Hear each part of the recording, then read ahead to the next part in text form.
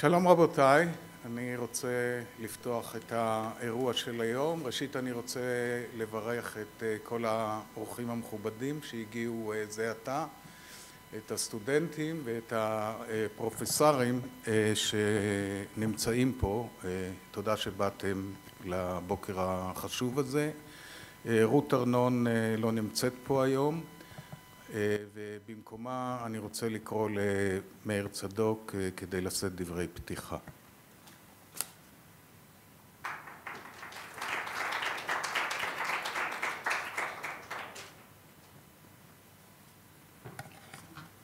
עברית או אנגלית, אני לא יודע איפה בת שבע היה בוסית.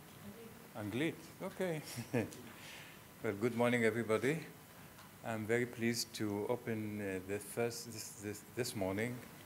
Uh, unfortunately, as you know, Professor Ruth Arnon is at the moment in New York. Her uh, sister passed away. I'm not going to replace her, don't worry. It will never happen. Maybe next generation, but not this one. Uh, I want to welcome, first of all, the Adams family and Gil Troy, Linda, Sylvan, and Sylvan's wife, Margaret. And uh, we're very happy to see you here.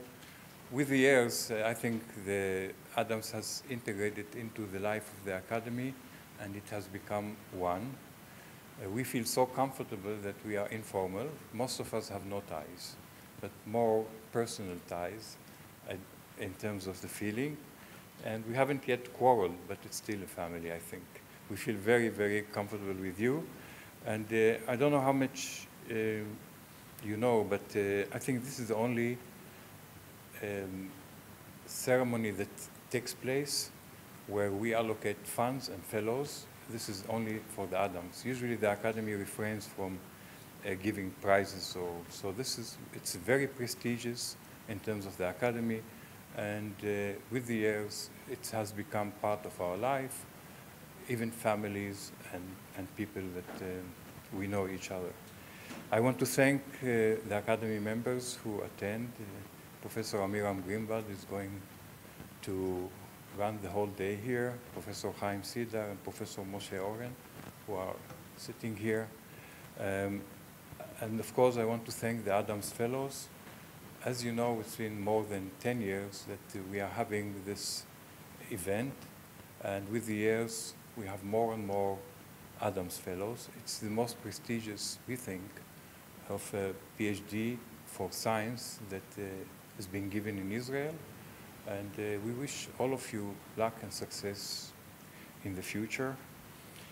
Few things about the Academy. The Academy main function is in fact by law to be um, assigned to look after research and to ensure the quality and excellence of science. And uh, what the Academy did in the past, and especially in the last 30 or 40 years, we are more and more geared to raise funds. Uh, the Academy established the Israel Science Foundation, the Academy established TELEM, a number of actions that we took that are essential for the excellence of science in Israel. Uh, well, I cannot without some informal stories because when we talk about it, uh, Marcel is going to be 95 years old, and I always remember the first meeting with him. I was telling some of my colleagues here how we met.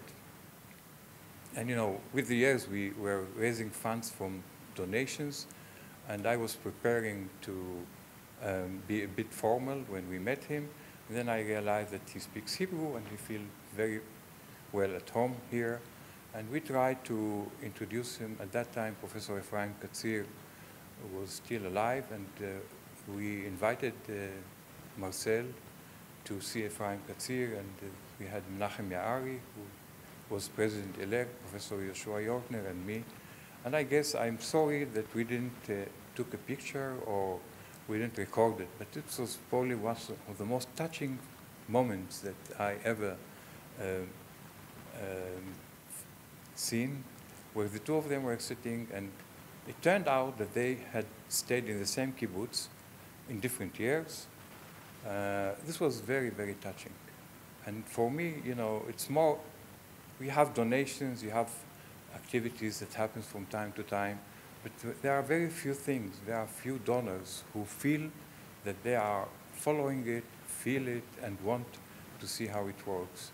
And I'm very pleased to see, to open this morning, and, and I want to thank my um, staff, the mother of all the program, Batsheva, who sits here. And well, I, I, thought next generation, I want to be one of the fellows, to be one, to feel how she treats you, how she makes sure that uh, you are part of what's going on. And uh, I wish all of us a nice day. As, you, as I said, feel very comfortable to come to us if you have things that you feel that we should know. And uh, we hope to run this year after year, and we wish we'll have, of course, a ceremony in the afternoon. Uh, but from here, we want to send our best regards to Marcel. And uh, this is the first time that he didn't attend. We wish you health, the most important things, and we wish you, him good years. And uh, we hope to see him maybe next year. Thank you. And we should have a nice morning. Amiram, please.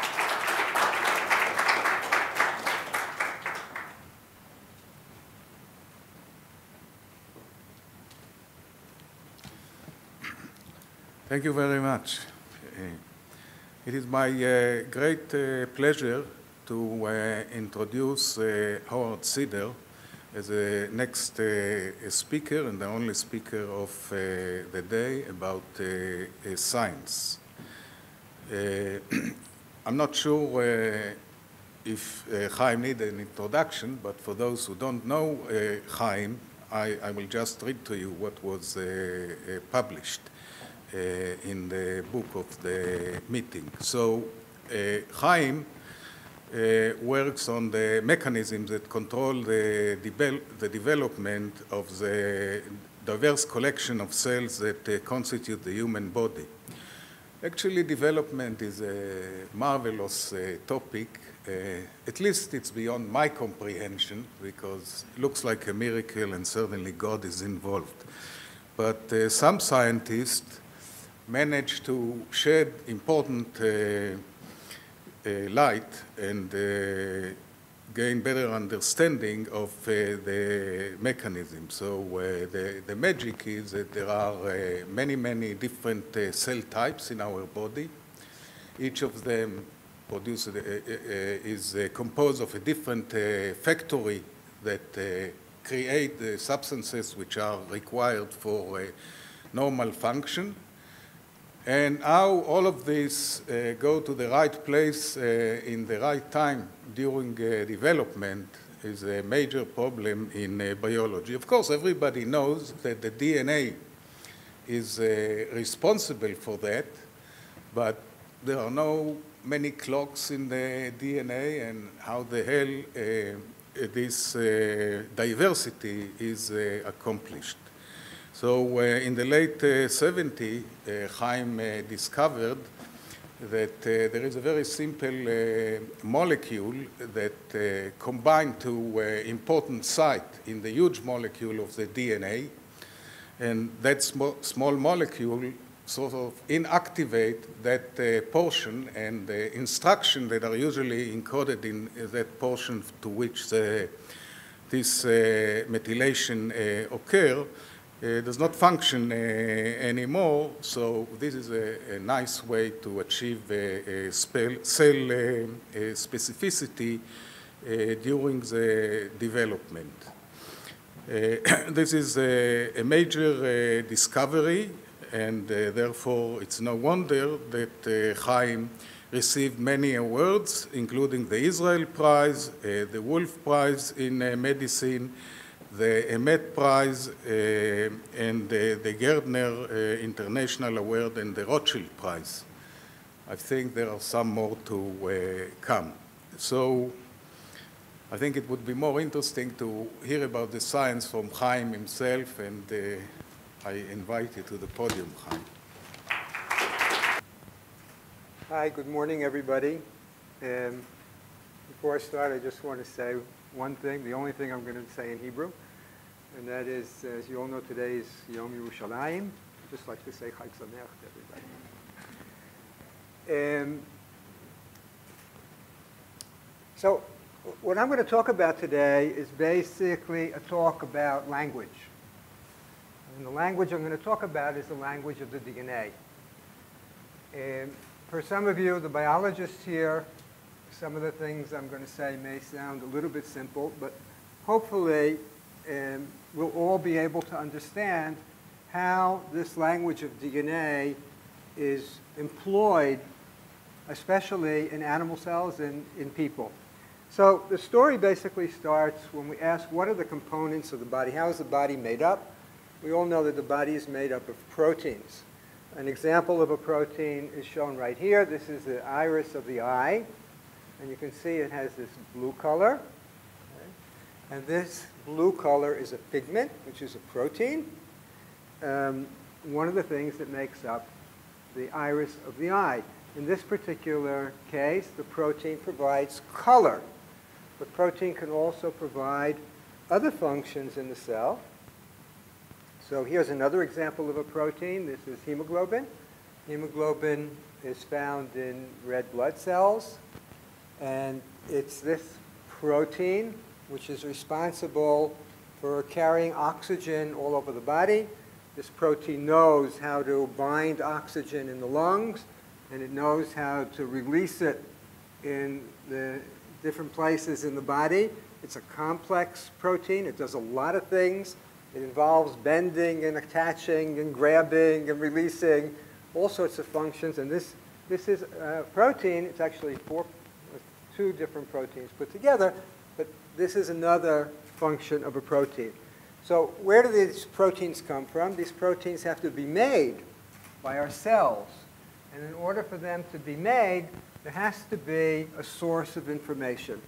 And that source of information is our genetic material, which we receive from our parents. And just to give you a feeling for how it works, this booklet that we receive from our parents is a book in all respects. It has a language. The language is made up of letters and words and sentences and paragraphs and even volumes of books. And if we look at the language, you can see here the language is uh, simple. It only has four letters, this language, A, T, G, and C. Okay? The words are very simple. Every word is three letters. So for instance, you'll see in a minute, ATG is a word. CTA is a word. Okay?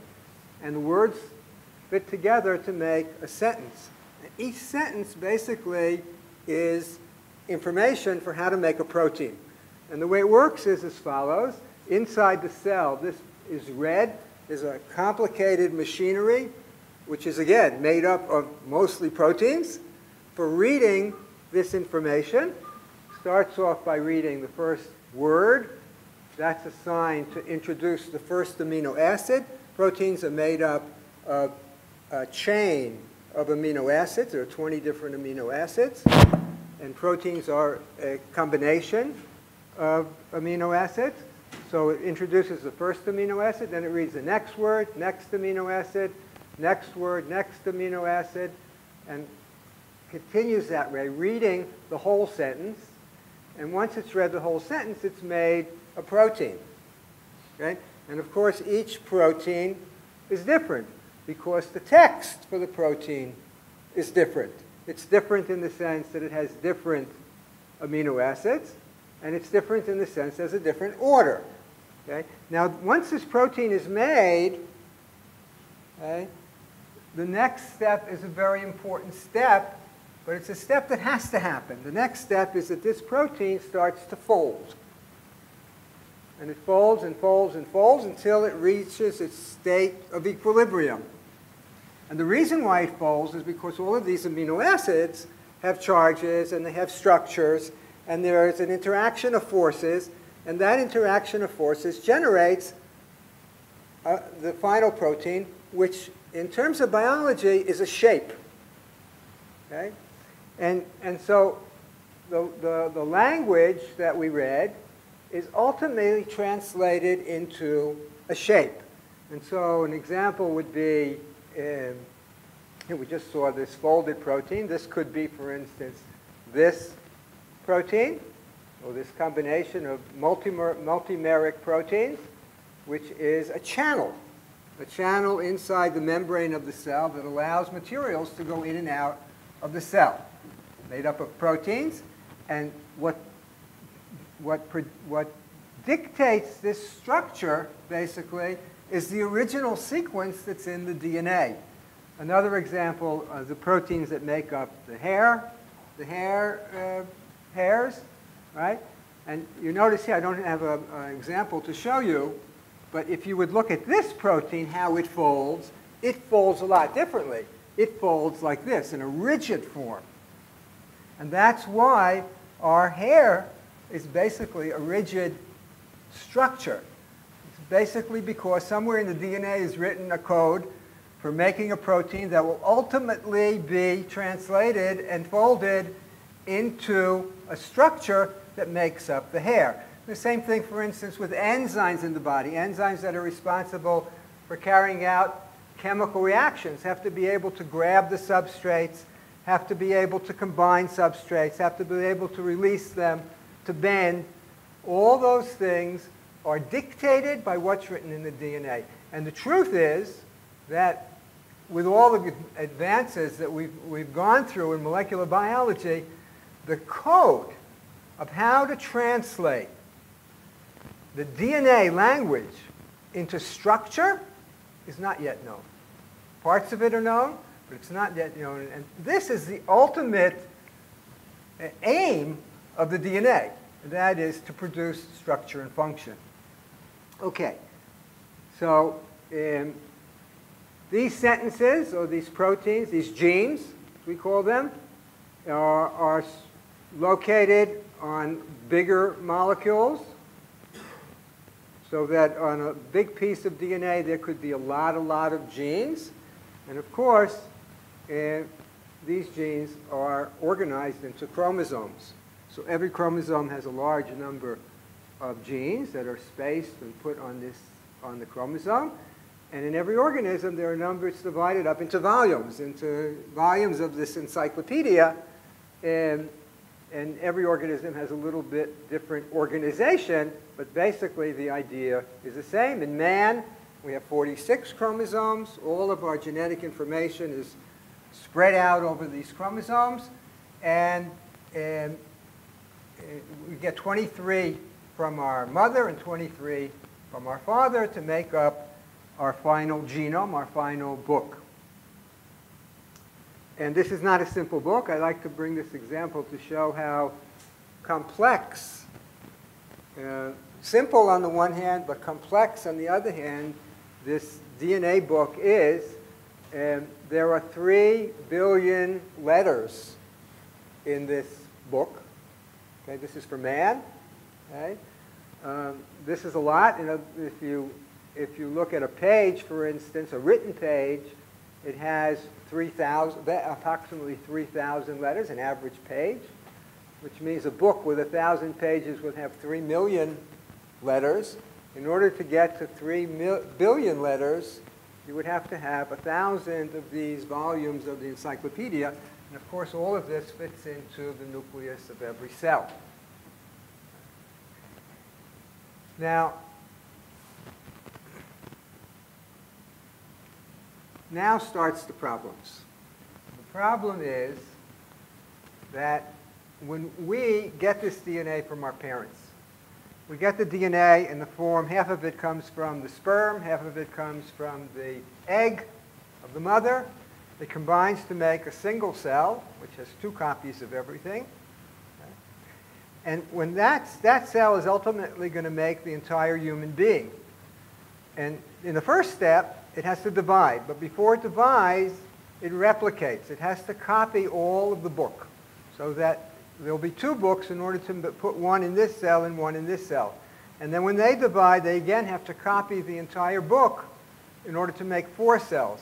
And every time cells divide, they copy the book in such a manner such that in our body, which has something like a million billion cells, in every single cell, we have the original information that we inherited from our parents.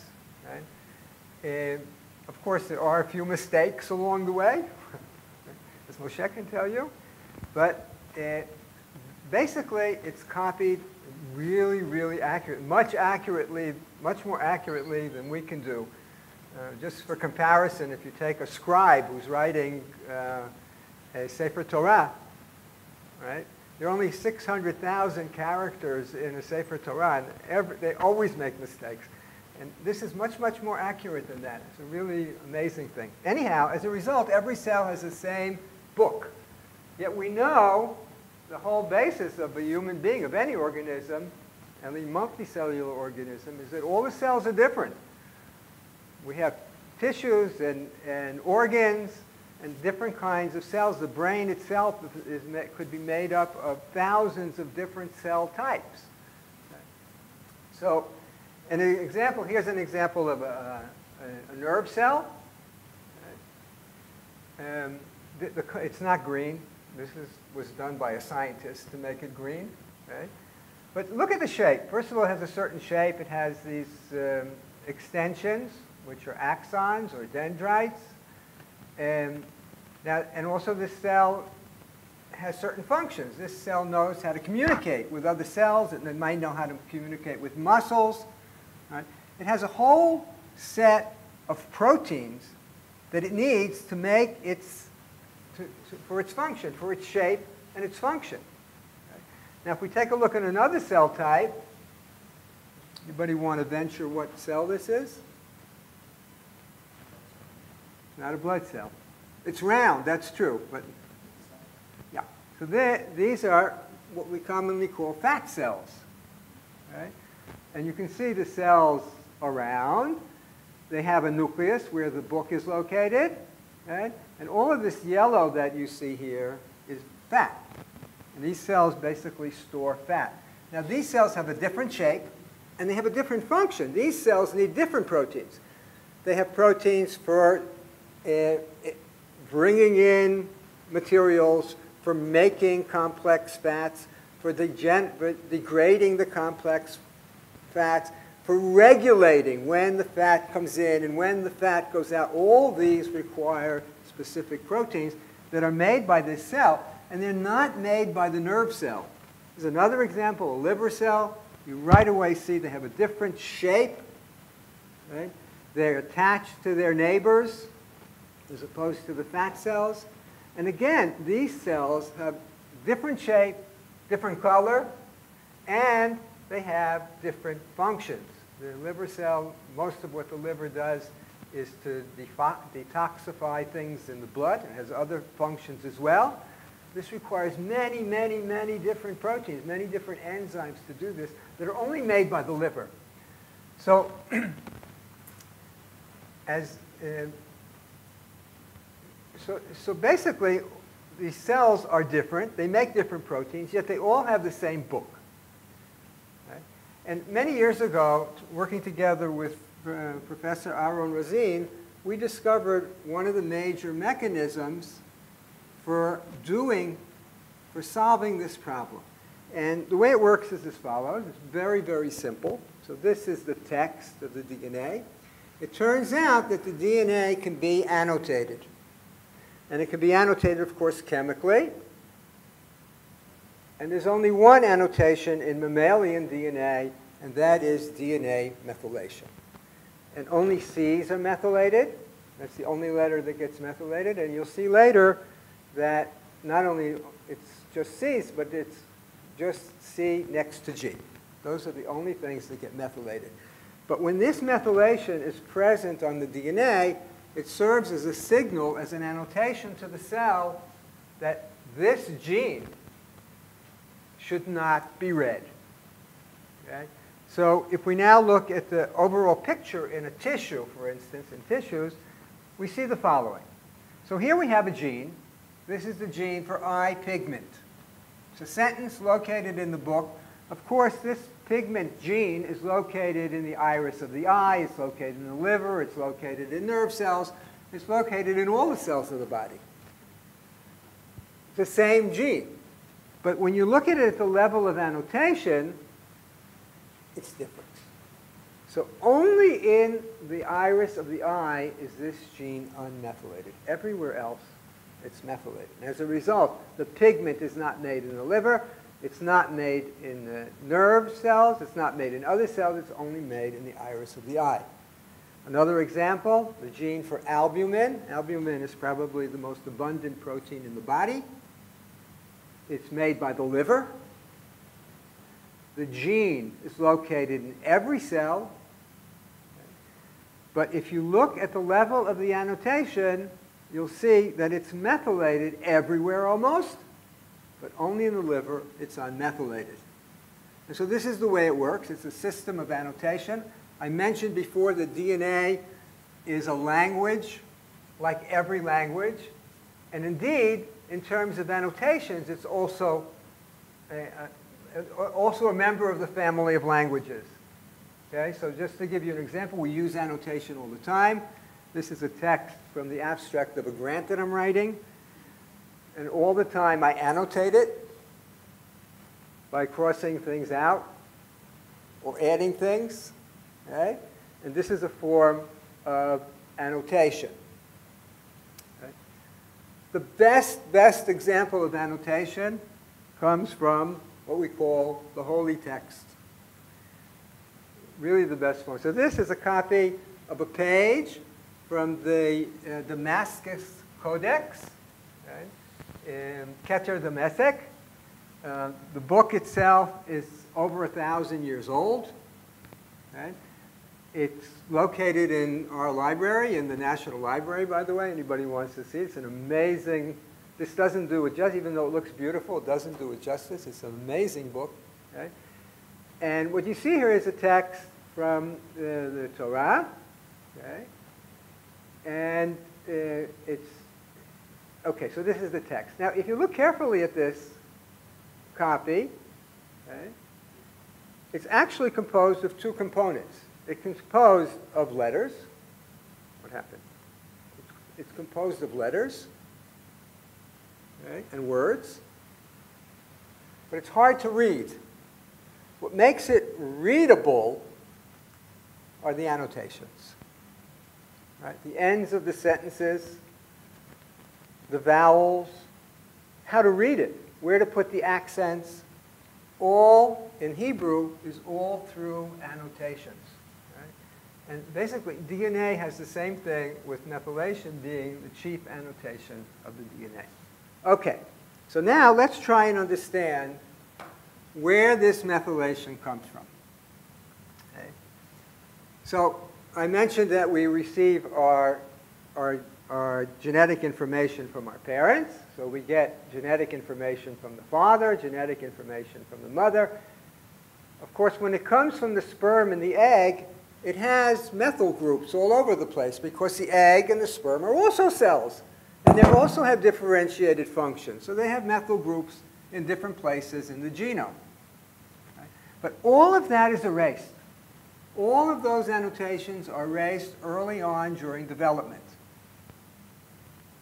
And then, at about the time of implantation, when the embryo is implanted into the uterus, the methylation pattern is regenerated. And it's done in the following manner. There are regions that we call CPG islands. The name is not important. But they are going to remain unmethylated. So the whole genome gets methylated. And these regions remain unmethylated. Just to give you a hint, we're going to talk about it a little bit later, but just to give you a hint, these are basically genes that are, have housekeeping functions. These are genes that are going to be expressed in every cell of the body. So right from the beginning, they're set up to be unmethylated. They're set up to be readable.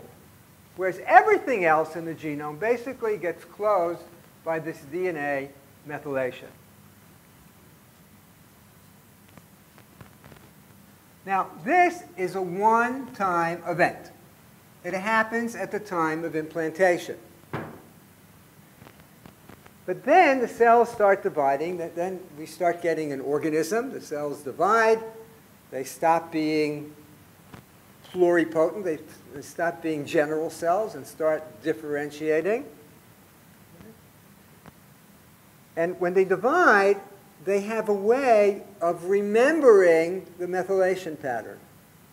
Just like they copy the text, they copy the annotation. And it's done in a very, very simple manner. Okay?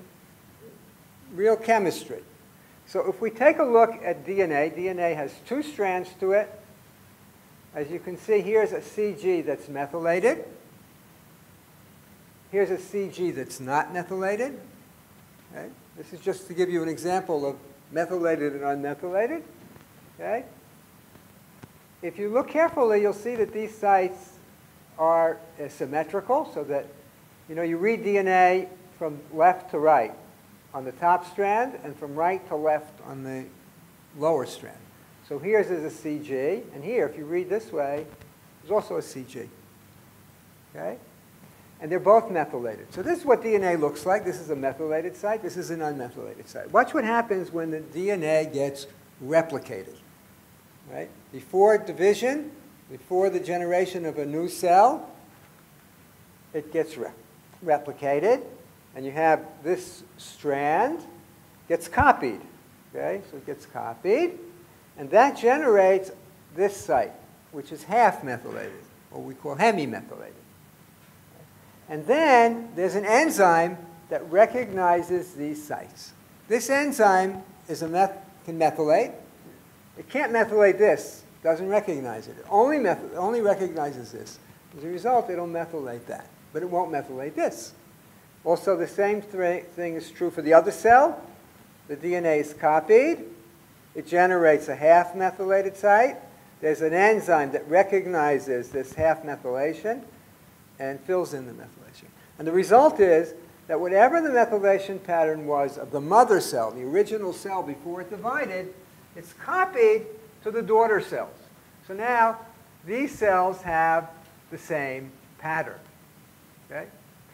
So the idea is at the beginning of development, there's a process of methylation. This process turns off, basically turns off everything and leaves some things open. Those things that are open are going to be genes or sentences that are going to probably be used all over the body.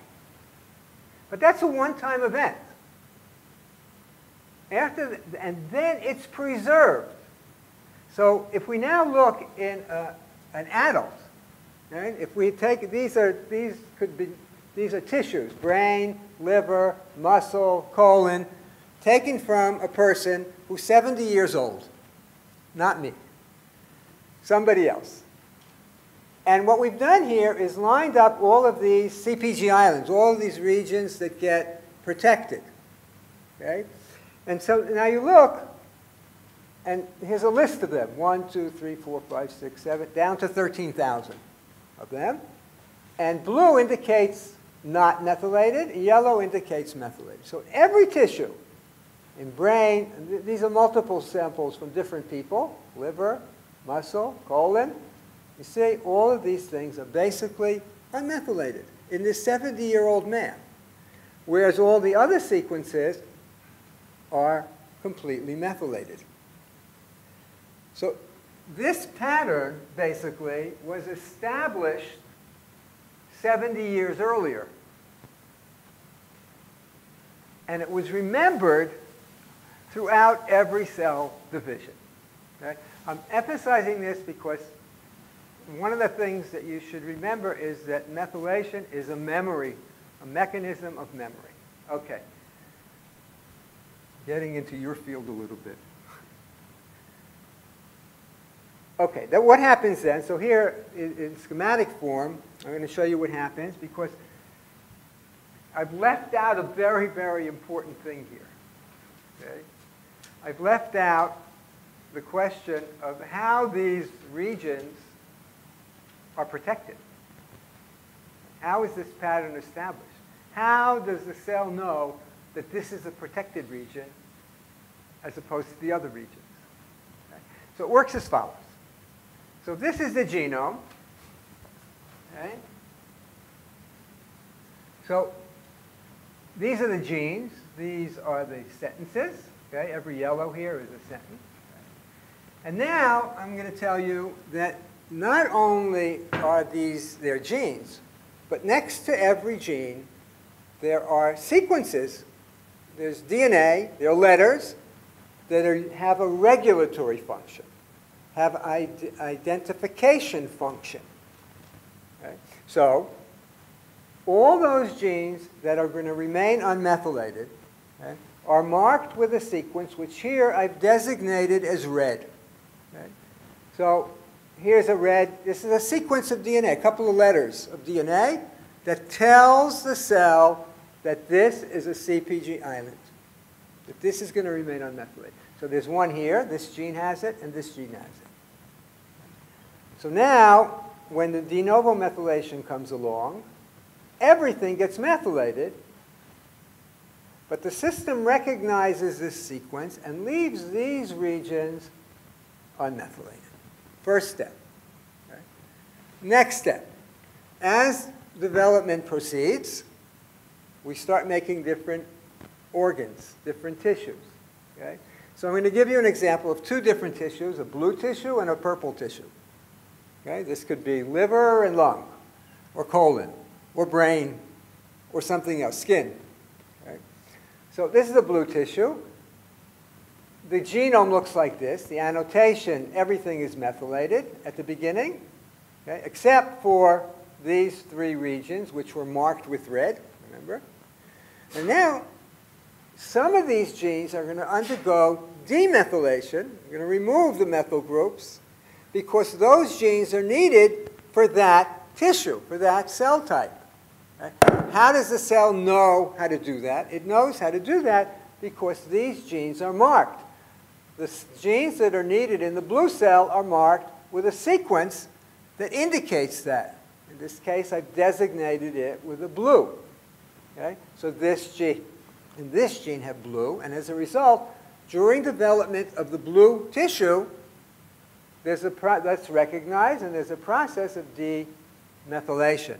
In the purple cell, okay, those that are, are, are potential or supposed to undergo demethylation become opened up in the purple cell, okay, are marked with a different sequence designated here as purple. Okay? And as a result, these two genes will undergo demethylation. Notice that it's a modular system. Here's a gene that gets demethylated both in blue and in purple simply by putting the right sequence next to it. Okay? So how does the methylation pattern get, get established?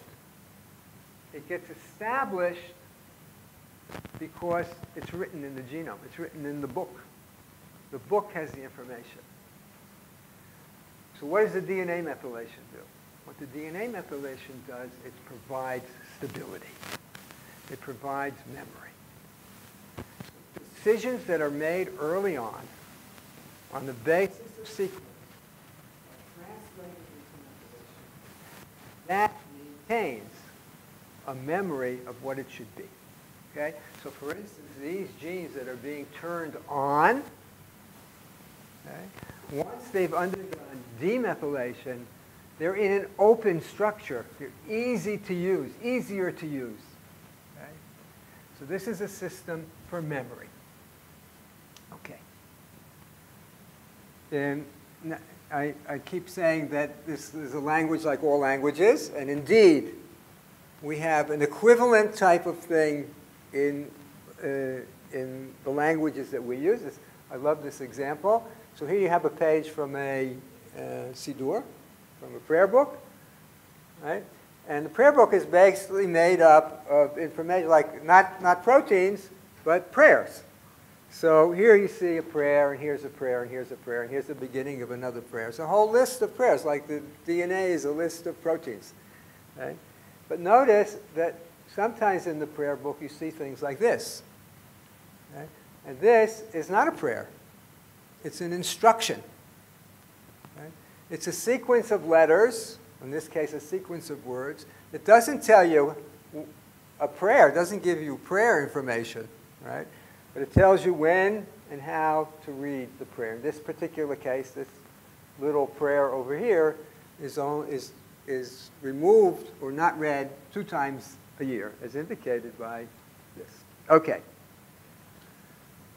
Now,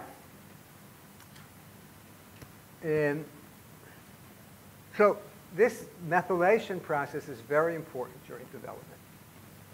But because it's such a basic process, such a basic aspect of the language of DNA, this annotation, right, it also, of course, plays a role in other things. And one of the places it plays a very important role is in cancer. So I'll show you how, what we think goes on. So this is a, um, a, a tissue. You can see it's made up of cells. What I want you to notice about these cells is that they're very well organized and very well behaved. This is a normal tissue. This could be a liver. Right? Normal tissue, you see the cells really lined up nicely like soldiers. I can tell you that these cells don't divide a lot. They respect their neighbors. They don't break off and go other places in the body. They don't release any proteins or uh, toxins. They're very, very well behaved. Okay? But as a result of mutations, as a result of substances that seem to affect the DNA and make changes in the DNA in a few places, these cells can become tumors. And when they become tumors, what happens is the cells stop behaving normally. So first of all, they start dividing more frequently. They start, you can see the structure, the, the, the organization gets a little bit messed up. Then they start changing how they divide. They can change their shape. They can start secreting substances. They can become ugly until they form a tumor. So now if you ask yourself, what's the difference between the normal cell and the tumor cell right, in terms of the DNA, in terms of the book? Right?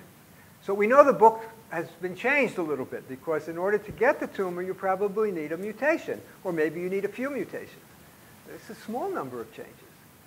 If you look at the two cells, the normal cell and the tumor cell, they behave radically differently. They have different patterns of expression. Different proteins are made. Other proteins, some are made, some are not made. And that has nothing to do with, with the mutation. There's a whole change in the regulation of how the DNA is read. And a large part of that has to do with DNA methylation. So this cell goes from a normal cell with this pattern of methylation, of annotation, so this gene, let's say, is red, this not, this not, this is red, this not, okay? As it converts to a tumor cell, did you catch it? Did you see the changes? okay, let's do it again. It converts to a tumor cell, and watch what happens. Some sites undergo demethylation, and some sites undergo new methylation. I'll do it again. Notice here. This is methylated, it's become unmethylated. This is unmethylated, it's going to become methylated. Okay? It becomes methylated. Okay? So methylation plays a big role in how these cells behave. Okay?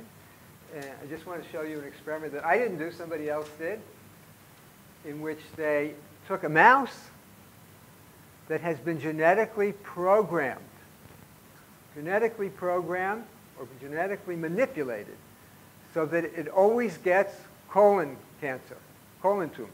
Every mouse gets colon tumors. In fact, it gets a lot of them. It gets about 100, 75 to 100 colon tumors. Every mouse. You look in after four or five months, it has these many, many tumors, everyone. But if you give it a drug that inhibits methylation, this 5-azacitidine, and you give it in small doses from birth, once a week, small doses, look what happens. Instead of getting 75 to 100 tumors, you cut it down by two orders of magnitude. Okay? And this is because for this disease, in the mouse, methylation is essential. Without that methylation, okay, And you don't get the tumor. It's essential for the tumor. Okay. So, the next question that I want to ask and partially answer is the big question. This is the question that people call epigenetics. I'm sure you've all heard the word. And what epigenetics means is sort of on the side of genetics, additional to genetics. That's the idea. Okay? And usually it refers to DNA methylation. So the question is,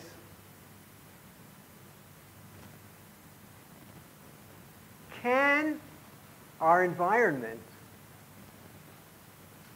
affect DNA methylation? Now the question is basically a, a philosophical, it starts off as a philosophical question because basically Darwin said that the environment can't affect our genes. In other words, environment doesn't change our genes. Okay? Eh, if environment does something, it selects. So the mutations or the changes occur by themselves, and the environment selects for it. But the environment itself can't change what the genes do. So it can work at the level of evolution, perhaps, but what about the, the normal individual? Okay? The environment can affect our genes. DNA methylation is sort of like a shortcut in the sense that maybe the, the environment can affect methylation. And in that way, while it's not affecting the basic text of the genes, it can change how these genes are used. And this way, environment may affect behavior, may affect, may affect how people are resistant to things, or how they react to certain things, right? how their metabolism might change with the food that they eat, or the life that they lead. So this is a big question. Can the environment do it? And we, we really don't know the answer to this. But there are some hints, and I'm going to show you this, that, that it's true, that it can happen. Okay, so the first example I want to show you, this was an experiment that, was done by um, Emma Whitelaw from Australia. And what she did was she, she took these mice. This mice is called an agouti mouse. Agouti is a color. It's this yellow color. And what you see here is a litter from one mating of two mice that looked like this. And these mice are what we call in, genetics isogenetic. They have exactly the same genes. It's like taking uh, identical twin brother and sister, if that's possible, and mating them together. So all the genes are the same. Every gene, in every animal that's born, the genes, the text is exactly the same. Okay? And this is what you got. We would have expected all the mice to look like this. And it turns out that some of them look a little bit browner, some of them a little more brown, and some of them really brown. And also, these get a little smaller uh, when they have more brown in them. They're different, even though they have exactly the same genes. And it turns out that what happens here is that where this gene is located, there's a region of DNA that is sort of halfway between being an island, being recognized that it should remain unmethylated, and a region that should be methylated. So what happens is during development, Sometimes it gets a little methylated. Sometimes it gets a little bit more methylated. Sometimes it doesn't get methylated. Right? Sort of stochastic. And as a result, some of the mice, here, so this is the gene. If it's unmethylated, you get the agouti color. If it's more methylated, you get lessening of agouti. If it's very methylated, you get almost no agouti color, just the brown. Now, this is interesting because it turns out that you can affect this by the diet that you give to the pregnant mother. So if you give the pregnant mother food that's rich in methyl groups eh, or in the substances that provide the source for the methyl groups, you get animals more like this. You get all of them looking like this. And if you give the mother food which is uh, lacking or which has a decrease in the amount of these kinds of foods, then they all come out this way.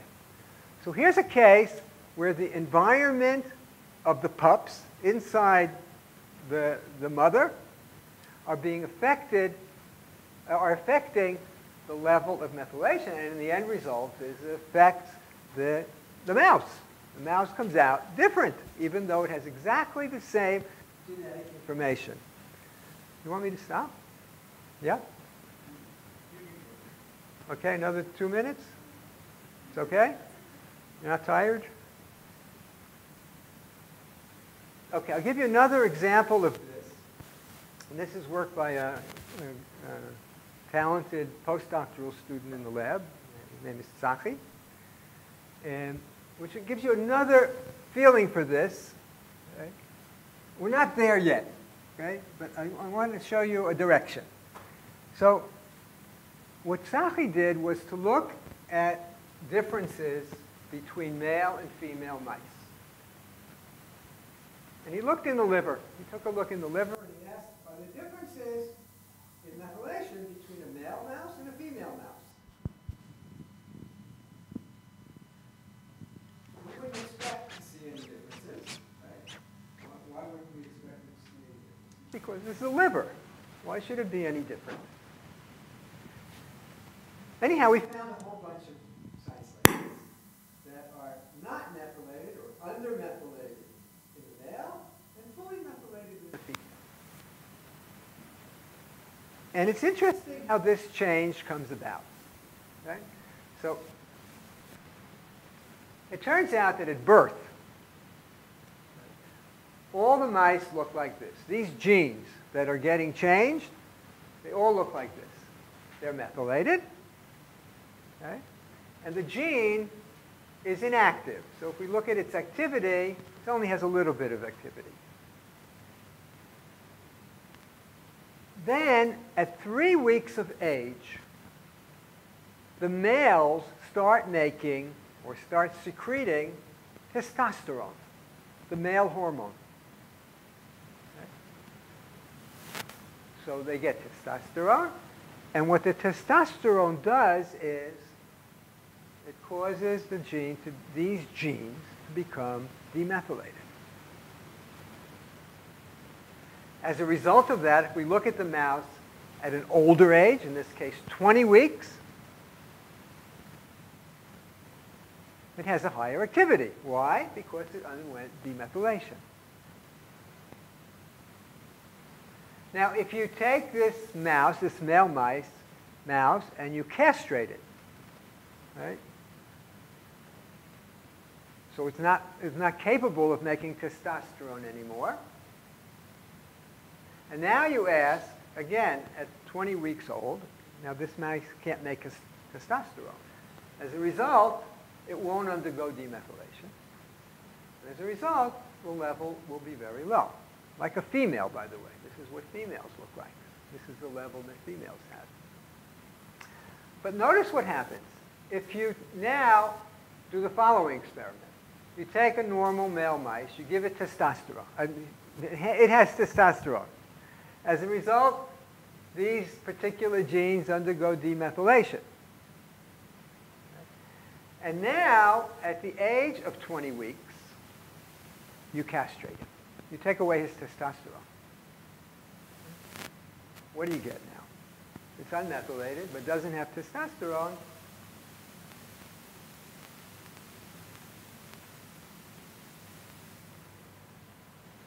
You still get it, you get activity. Why? Because the, the methylation, the original demethylation that happens is a memory. After that, it doesn't, doesn't matter that much whether he has testosterone or not. The gene will be active, or at least partially active, because the methylation provides a memory. Okay? So here's an example. And by the way, you can take a female and give her testosterone, and she'll also do the demethylation. So this is a case where the, uh, the mouse is also affected by environment, by its internal environment.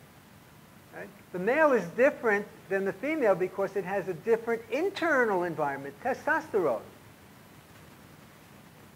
And the methylation, pro- the methylation pattern is, is, uh, is affected by that. So I showed you in the liver. Here's an, here's an example in the brain. The cortex, the prefrontal cortex of the brain. Right? Males, unmethylated. These are different mice. Three different mice. This is four or five different mice. Male, these sites are unmethylated, and the female methylated. And it, this occurs in many places in the body. And it's all because of the testosterone. And what we think is, is how, you notice that I mentioned that there are specific places that this occurs. In other words, this process is programmed.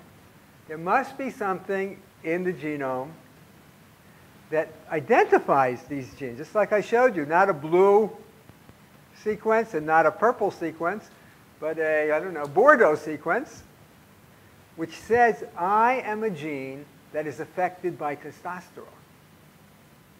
Okay? And what we think is that this is a paradigm for what may happen with the environment. That the environment can impact on the internal hormones and factors in the body which the genome, the book, is programmed to identify. And as a result, the environment can impact on the methylation pattern and affect behavior. And this can be done in a manner so that even if the environmental exposure happens once, the body will remember it even when the original exposure goes away.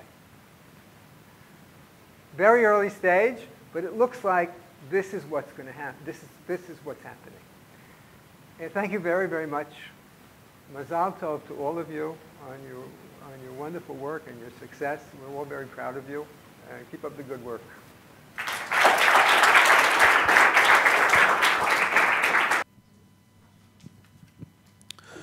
So uh, my question is this: uh, In recent years, there has been talk about I'm not sure what this uh, English term for that hitmainut shel ta'im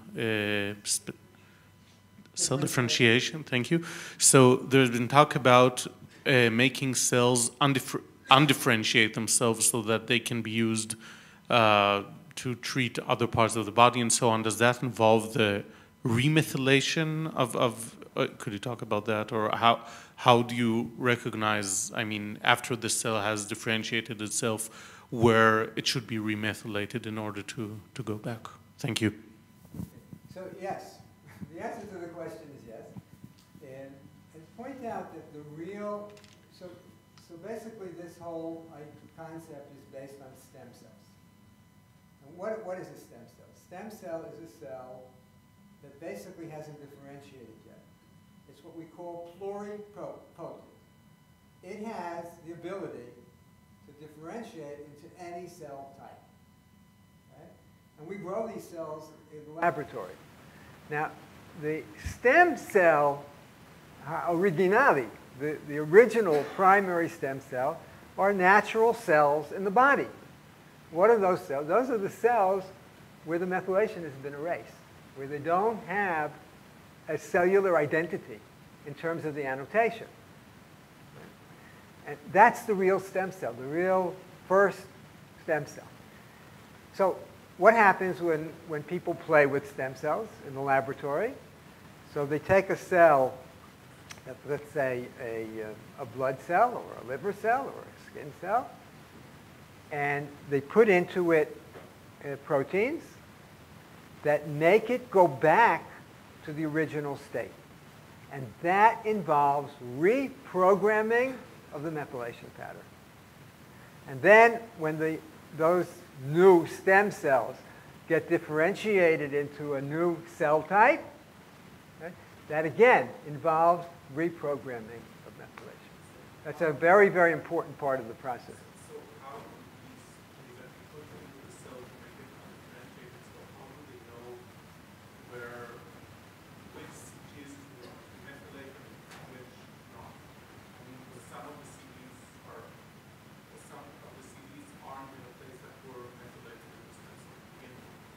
So what happened, I don't, the, the answer to your question is that we don't know. Okay? But what I think happens is that when you take a fully differentiated cell and you add this cocktail that uh, scientists use, what the cocktail does is to, is to uh, initiate the program of the original time at implantation. Okay? So Everything is programmed. And, and, you know, I'll give you an example. And I, I- I think this is the most amazing thing that, that people usually don't think about, but this is the amazing thing about the genome. And that is everything is programmed. I tried to get to that at the end when I said, even if the environment affects us, it has to be something that's already programmed into the, into the system to begin with. Otherwise, it won't happen. So what does it mean program? I'll give you a, a small example. Okay? In making a muscle cell, so muscles are very complicated. It has lots and lots of different proteins that um, have to be made. And it has other proteins that have to be turned off. Right? So how is it done? One of the ways it's done is that there are things called master genes. So to make a protein, to make a muscle, there's a, a protein that sets in motion a program. It recognizes a lot of places in the, gene, the book, and it sets in, in motion a program to do it. It all boils down to one gene or two genes that can do it. In fact, in old, old, old experiments, they showed that you can take, for instance, a, uh, uh, fibroblast. Fibroblast is a, um, um, what's the word I'm looking for? Anyhow, it's a cell type. And you can put into it the master gene of muscles, and you'll convert the cell to a muscle cell. Right? Using this master regulator. Thanks. A good question. Yeah. Mean, The discovery of uh, medication is uh, really important and uh, impressive. And uh, quite uh, often, behind such uh, discoveries, uh, there are stories uh, of, uh, let's say, gossiping that are uh, of uh, interest to uh, young scientists. Uh, an example is the discovery of penicillin or uh, the discovery of uh, orientation sensitivity in the brain, in the visual cortex by uh, Nobel laureates. Did anything uh, like that, um, which is worthwhile uh, discussing informally, uh, happen to you and to Professor Razin? The only, the only story that comes to mind is that at the very beginning, when we were doing the first experiments, we were trying to prove that DNA methylation inhibits expression. In- other words, part of this story is, is to actually show that if you take a gene and you artificially methylate it, that gene will be inactive. In other words, otherwise it's just a correlation. You have to show physically that it, that it works. So we, we planned an experiment like that. And in the old days, it took us a long, long time to do it. The system was very complicated. And after about a year that we were working on this project, it was 5 o'clock in the afternoon, and the student who was doing it came running into the lab, and he said, you won't believe this, but the, the, the key exam- samples that I was, that, that we need for this experiment, they fell on the steps. so I said to him, I said to him, where? I immediately went there, and there I saw that everything was spilled on the floor. But next to each tube, there was a little, a little dot of liquid. And I took a pipette and I picked up all of those samples of liquid, and we analyzed them, and it was great. We got the results, and it was a little bit dirty, but it was a great experiment. There was, a, along the way, there were lots of challenges, um, challenges from other people, people who didn't believe it, people who still don't believe it today. Um, and uh, it was challenging. In a sense, it was good because it made us strengthen the results. In a sense, it wasn't good because we always had to defend ourselves. But uh, yeah, in the end, it turned out okay. Any other question? This is the last question. Um, you mentioned the role of methylation and de- demethylation in cancer. Are there any current or possible treatments that take advantage of this knowledge?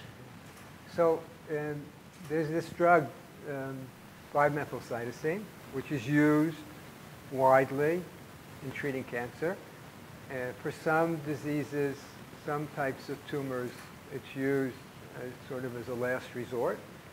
But in other types of tumors, um, um, particular types of leukemia, it's used as the, uh, the main treatment, a disease called MDS, myelodysplastic disorder, and myelodysplastic syndrome, MDS.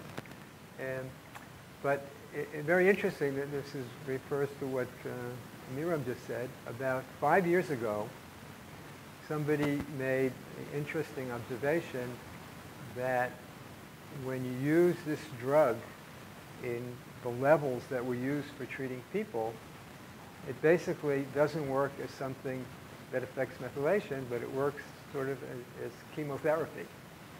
But if you use the drug at 10 times lower doses, it does work as a demethylating agent.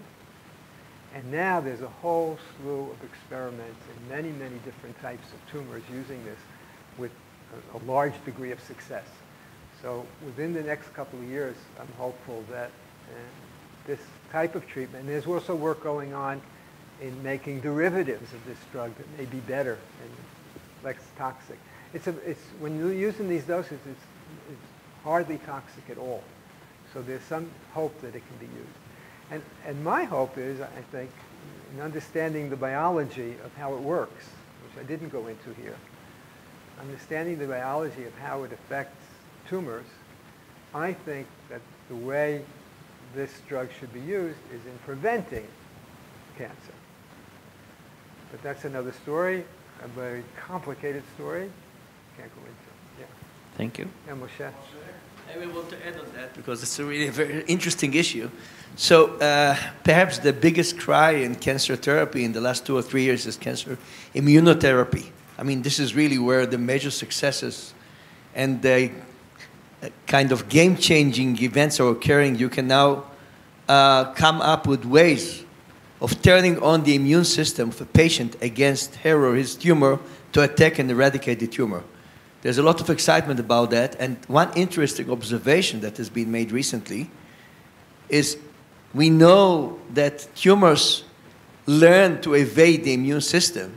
They pretty much go under the radar. The immune system, in principle, should eradicate tumors. And it's a very efficient mechanism to get rid of tumors. The vast majority of tumors that develop in our body never go on because they're eradicated by the immune system. It's only those rare exceptions that learn how to disguise themselves and hide from the immune system that survive, stay, and eventually go on to kill the patient. Now it turns on, turns out that methylation, like every, which is important in everything in life, as Chaim just told us, is also a mechanism that is involved in the tumor cells hiding themselves from the immune system.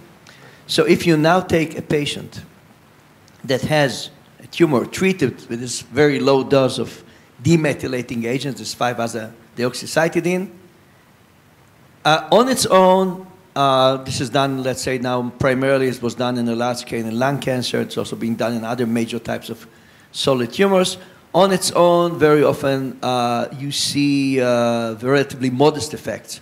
But if you now combine this with this Immune. cancer immunotherapy, this works miracles because the cancer cells now expose those cues that they hit by methylation, and the reactivated immune system now grabs on those tumors and eradicates them very rapidly. So this is just one hot example. Thank you.